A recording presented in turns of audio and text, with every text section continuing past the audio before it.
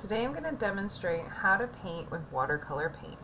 And we're going to be using a special brush that holds water inside of it. So there's a section down here that you can fill with water and you remove the cap like this.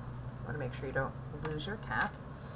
And you just squeeze the side of the brush a little bit and some water will come out into your paint and that will activate your paint and make it so you can spread it on your paper.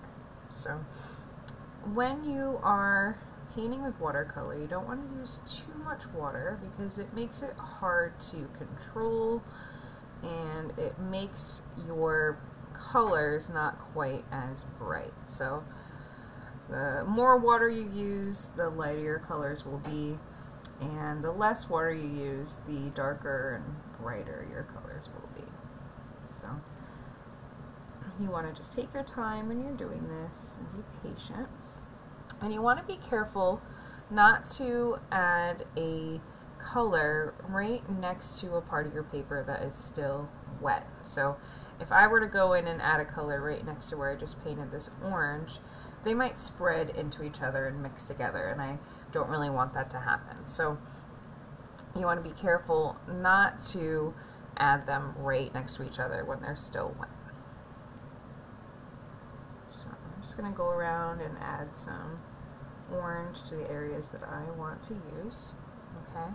You can also blend colors together. So if I wanted to blend this color into another one, um, I could start by painting, let's see, I think I'll add some orange up here where I painted these suns. So we'll start by painting this color first. I want to add a little bit where I put these rays of the sun. Okay.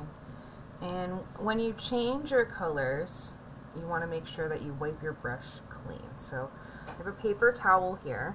You just want to wipe off the extra color. You kind of squeeze your bristles together a little bit like that, and pat it off. Have a clean brush, and you can switch colors. So I'm going to add some, some little yellow in here. And to blend them, I'm just going to paint right over a little bit of the orange and spread my paint out, and they'll kind of blend together. Okay, so you can use any colors that you want for your painting. Just take your time, make sure that you're not using too much water and make sure that you are cleaning your brush on your paper towel before you change to another coat.